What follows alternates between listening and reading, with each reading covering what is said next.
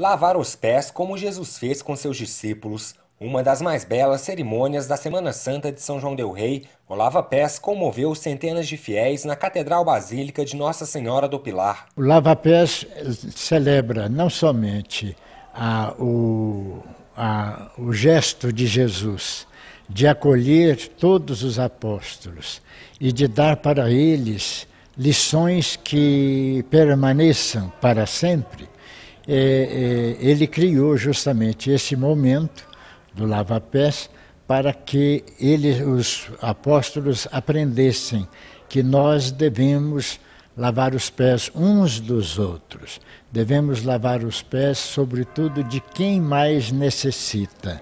Ao lavar os pés dos discípulos, Jesus os lembrou das lições que pregou e de sua grande missão, salvar a humanidade.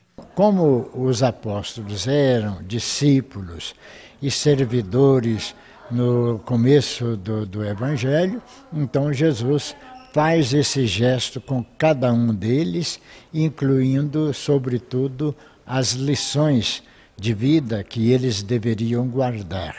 Então, o lava-pés é umas é uma celebração não somente simbólica, ela é também uma celebração real, porque a gente lembra a delicadeza de Jesus em lavar os pés dos apóstolos, para que os apóstolos pudessem também se preparar e, ao mesmo tempo, lavar os pés uns dos outros e de todos os fiéis que eles iriam encontrar depois da ressurreição um ato de humildade e perdão.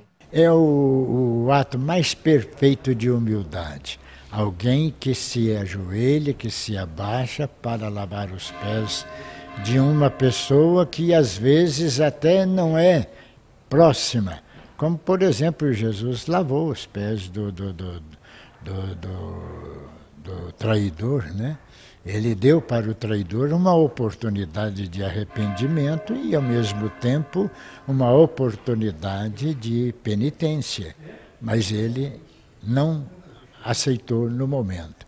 A gente acha que até no final ele certamente deve ter se arrependido, tanto assim que ele fez um, um ato de violência consigo mesmo. Né? Então é bom a gente lembrar que às vezes nós encontramos seguidores do, do, do, é, do apóstolo que negou Jesus Cristo, que às vezes no finalzinho da vida eles reconhecem, pedem perdão e Deus atende. Os fiéis marcaram presença e se emocionaram com a tradicional celebração. Eu sou daqui, então eu conheço um pouco desde pequena, eu acompanho as programações da Semana Santa.